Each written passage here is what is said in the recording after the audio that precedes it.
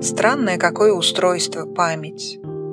Проскакиваешь стремительно свое путешествие жизнь, не оборачиваясь, как будто делая по пути множество фотоснимков, срезав мест, людей, ситуаций, запахов, неясных ощущений.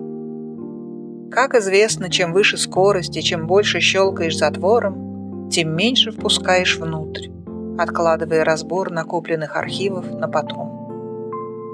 И когда-то в одной из этих потом начинаешь заново переживать то, что было недопережито тогда.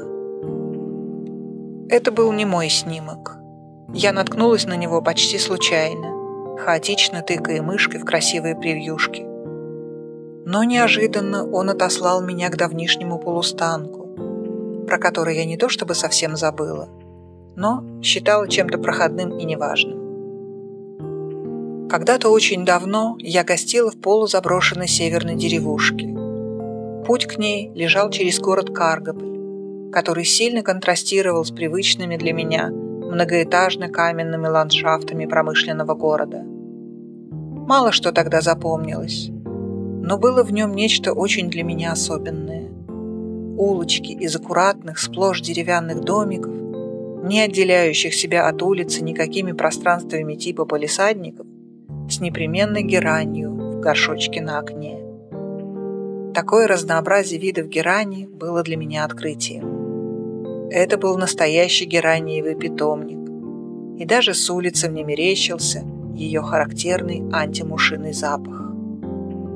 Но вот и деревушка с напрочь забытым мной названием.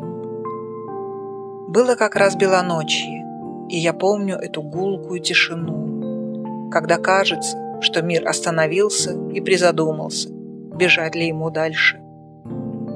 После городской какофонии все это казалось мне тогда скучным и бесцветным вакуумом. Бревенчатые, посеревшие от возраста дома, стоящие как попало, будто презревшие всякие уличные правила и линейности, перекошенные от тяжести печей, похожие на накренившиеся перед затоплением кораблей. Ни оград, ни калиток, ни огородиков.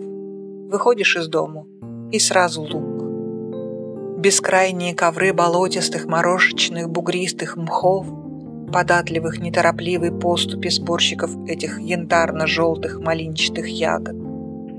Идешь по ним, одновременно страшась того, что может оказаться внутри, и нежесть и наслаждаясь, когда мягкая зелень как будто обнимает стопу, наверное, заманивая идти глубже, в это кажущееся заколдованным царство, в котором, так верится, обитают лешие и всякие прочие негородские персонажи.